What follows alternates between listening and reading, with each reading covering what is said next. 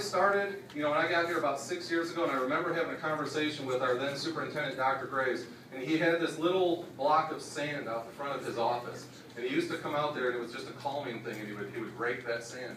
And I remember going and talking to him about six years ago and, and telling him, you know, if he really wanted to leave his mark here, it wasn't going to be about the technology, it was going to be about the te- it was going to be about the teachers. It was going to be about impacting teaching and learning in the classroom.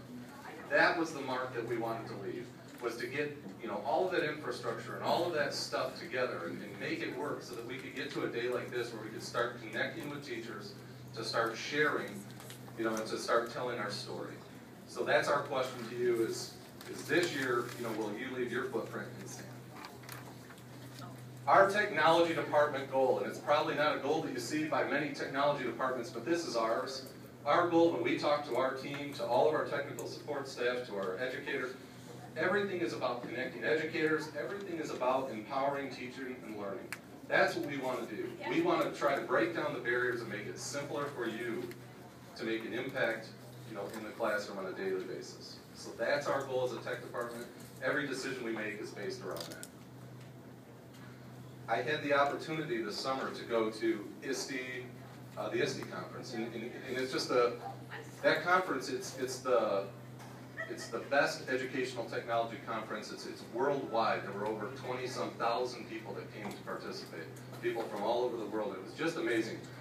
But the keynote speaker who closed it, and if you get a chance, go back on YouTube and check out this keynote speaker, Adam Bellow, the closing keynote at ISTE 2013. Absolutely amazing, okay?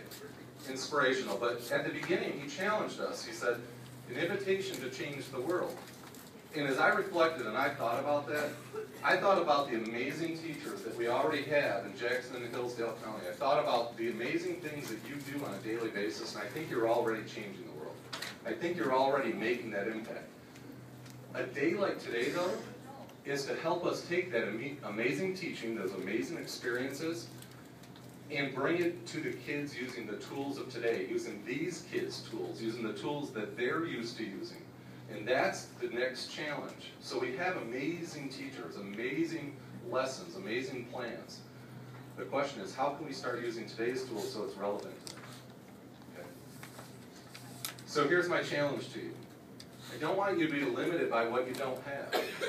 I know times are tough. I know not everybody has the same equipment. You don't have the same devices. Some of you have just a single desktop in your room.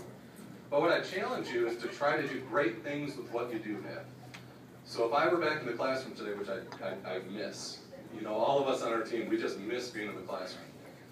But if I was in there and all I had was a single desktop, I would try to find ways to do great things with kids with what I had.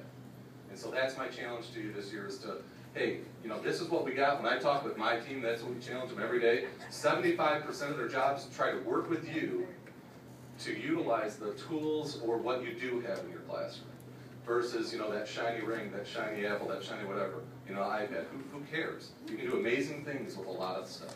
Okay? So this year, to make it easier, we're going to bring you new tools.